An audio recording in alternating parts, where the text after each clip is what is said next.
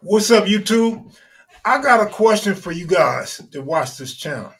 And if you don't watch this channel, but you're a football fan, I still have a question for you. One ball and no strikes. Aaron waiting. The outfield deep and straight away. Fastball is a high drive into deep left center field. Buckner goes back to the fence. It is gone. Right? All right. So I want to know and I want you guys to leave a comment and explain to me what you think. I want to know who is the worst team in football right now besides the Carolina Panthers. While we decide, I want to say this. For those that do watch the channel and watch the live streams, you know I'm a New England Patriots fan, right? All right. And you know I don't like Mac Jones, right? Down the near side of the field and is batted away and intercepted. Picked off out of the end zone and coming back up the sideline is Jevon Holland. I said Mac Jones was a truck several times, and somebody in the comment section always say Mac Jones is not a truck. Weeks ago, I explained that Mac Jones is going to cost Bill Belichick his job. He's going to force Belichick into an early retirement. Now, we're not there yet, but people are starting to talk and wonder is it time for Bill Belichick to hang it up? His downfall, I said it before, I'll say it again, is going to be Mac Jones.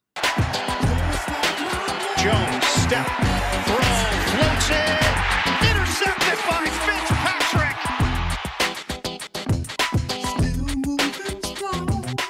After letting Tom Brady get away, this is your replacement. You try to bring in a Cam Newton, and then you give Mac Jones his job back. Look, Mac Jones has more interceptions than touchdowns this season. He's throwing some horrible passes. He's making some terrible decisions.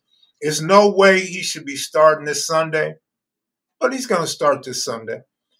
It, it's got to get to the point where Belichick, you have to go or just go on and retire, dog, because your faith and your consistency in letting Mac Jones have a job is not a good look. Everybody in the football world has something bad to say about the New England Patriots right now. However, check it out. I made a bet with KP Video News.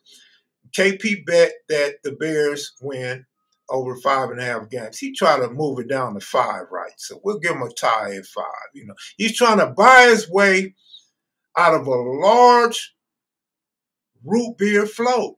Come on, KP, you could do better than that. But it's all right because the Bears only got as many wins as the New England Patriots. So KP calls me and say, "Man, you should have bet that the New England Patriots uh, don't win five games." Well, okay, I probably should have, right? I, I said New England will win nine. Apparently, it's not looking good. Apparently, in reality, it's very likely not going to happen.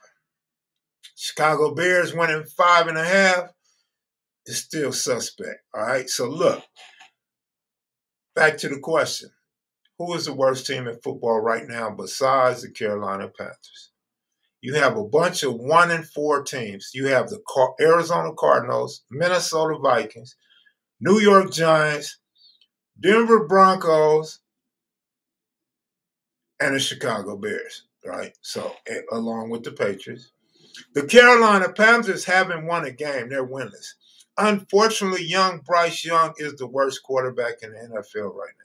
But nobody's talking about that because he's a youngster and they expect good things out of Bryce. But back to Mac Jones. Can't let him off the hook. He has a 40% quarterback rating, which is number 26 in the league out of 32 quarterbacks. Horrible. But it gets worse. He's tied for the league in interceptions, along with Daniel Jones another bust, right? Um, the only people worse than Mac Jones. So if you hear your name right now, you're a bum. You're a straight bum. Kev Mac said it. You're a bum. If you hear your name on this list, I'm gonna give a disclaimer to Joe Burrow. Joe Burrow, you are a bum right now, but you're not really a bum. You always start slow, you finish strong. Joe Burrow, you got to get your shit together.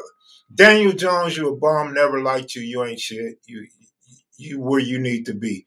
on the Giants. Zach Wilson. Now we know Zach is nothing, but I thought he would be all right. I thought he would be good enough to help keep the Jets in contention for nine wins, but it's not looking so great. Ryan Tannehill. Now I like what the Titans look like. I like the way they've been coached, they play, and Henry's balling, but the Titans, you're just not cutting it, dog. I don't I don't understand. I don't understand what's going on. Something there needs to be some changes over there. And Tannehill has to start throwing the ball, lose his job. You cannot be worse than Mac Jones in the NFL right now. That's not a good look. That's like being a crip and a buster or blood and a buster. You can't be that buster that everybody put their foot on the back of your neck. Kenny Pickett. I actually thought he was good in preseason, so I'm not going to ride him too hard, but you are the next to the worst quarterback in the NFL. Only Bryce Young is worse.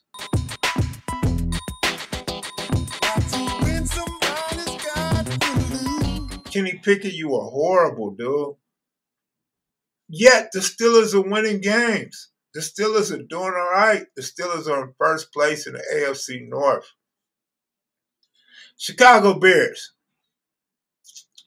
I like Justin Fields. I, I compared Justin Fields for the last two years to Jalen Hurts without the supporting cast. I think Fields can be good in another system. I've maintained for two years the Bears are not going to do anything to put Fields in a position to win.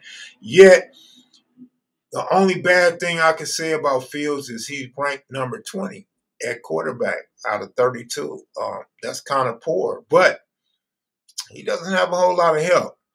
So the Bears at one and four, New England Patriots, Mac Jones, and the whole Belichick fiasco, one and four.